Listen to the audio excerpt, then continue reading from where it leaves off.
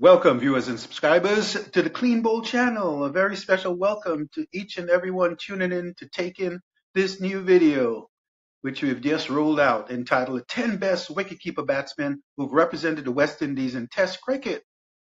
Now, fans, it's very important to note that the wicketkeeper position in cricket is a very important and physically demanding one. The wicketkeeper or custodian has to be athletic and versatile in order to support fast, medium, spin, and slower bowlers while in a fully or semi-crouched position. Now, as if those specialized skills were not enough, the wicketkeeper is also expected to carry his or her bat during the team's turn at the crease. Now, over the course of West Indies Test cricket, there have been several wicketkeeper batsmen who have shined with both glove and bat. Their outstanding efforts have been match saving on occasions and have come to be appreciated and celebrated by West Indians and also by cricketing fans the world over. Now, folks, the Clean Bowled channel will be featuring and honoring a selection of 10 of the best wicketkeeper batsmen who've represented the West Indies in a minimum of 20 tests. That's right, a mi- minimum of 20 test matches. And we would like to ask that you please hit the like and subscribe prompts right up front. We appreciate your support. Now, viewers, let's get started with our countdown of our 10 top West Indies wicketkeeper batsmen, beginning with number 10 and working our way down to number one. As always, we fully welcome all respectable comments. Again, a reminder that each and every one posting, please adhere to the uh, YouTube guidelines for respectability. Now, let's get started. We will take our list from number 10. Right off, we have for you fans in the number 10 position, Courtney Browne, who played 20 matches for the West Indies at the wicketkeeper position from 1995 to 2005 and averaged 16 runs.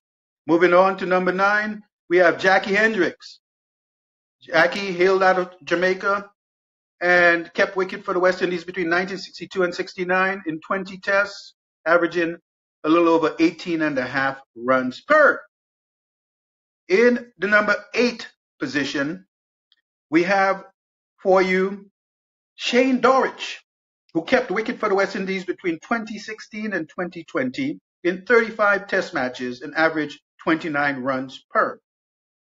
At the number seven position is Junior Murray out of Grenada, who in 33 test matches between 1993 and 2002 as a custodian averaged 22.3 runs per. In the number six position, we have Gerry Alexander, who hailed out of Jamaica and kept wicket for the West Indies between 1957 and 1961 in 25 test matches Gerry Alexander averaged 30 runs per test match for the West Indies during that span. In the number five position, we have Deryck Murray out of Trinidad and Tobago, who from 1963 and 1980 was an outstanding custodian, spanning 62 test matches and averaging close to 30 runs per. In the number four position, we have Ridley Jacobs out of Antigua and Barbuda, who kept wicket for the West Indies between 1998 and 2004 in 65 test matches with a healthy batting average of 28.3. At number three, we have Trinidadian Dinesh Ramdin, who kept wicket for the West Indies between 20, sorry, 2005 and 2016. Dinesh kept wicket for the West Indies in a total of 74 test matches and average 25.8 per.